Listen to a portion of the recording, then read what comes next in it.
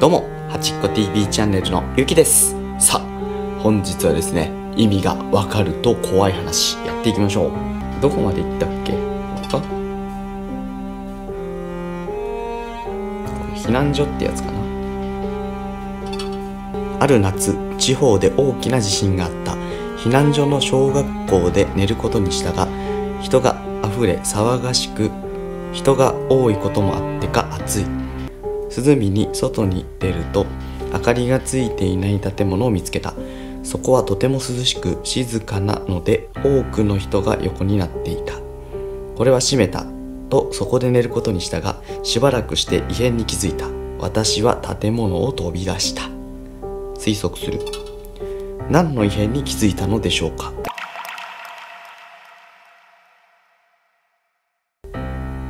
なんとなくね想像ついちゃった。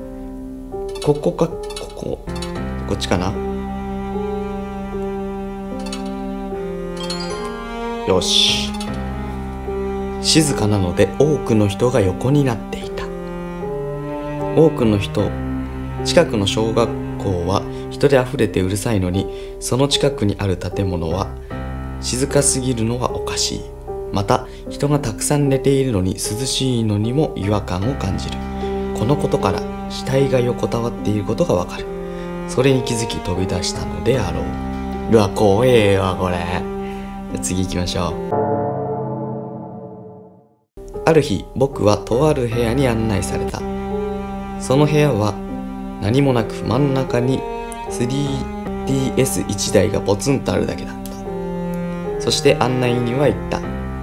その 3DS の中にはレイトン教授 VS 逆転裁判が入っています。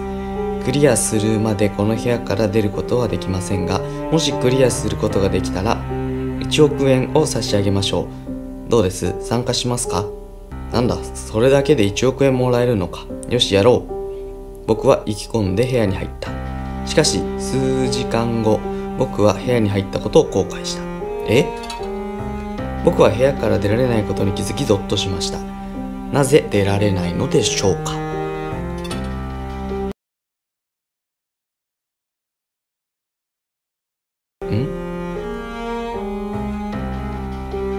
えどういうこと？これか ?OK! 真ん中に 3DS1 台がポツンとあるだけだった。その部屋は何もなく真ん中に 3DS1 台がポツンとあるだけ。つまりコンセントも充電器もない。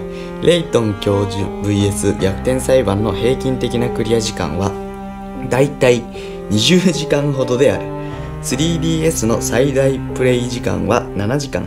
3DS のソフトを使用した時。となるとできる限り内容を読まずに進めればなら進めなければならない。一度クリアしたことがあり進め方を覚えているのであればできない範囲ではない。できない範囲ではない。とはいえこの 3DS がそもそも充電されていなかったらどうあがいても不可能な挑戦になる。なるほど。そういうことね。じゃあ今回ここで切って。次回またね続きやっていきたいと思います。それでは次回の動画でお会いしましょう。またね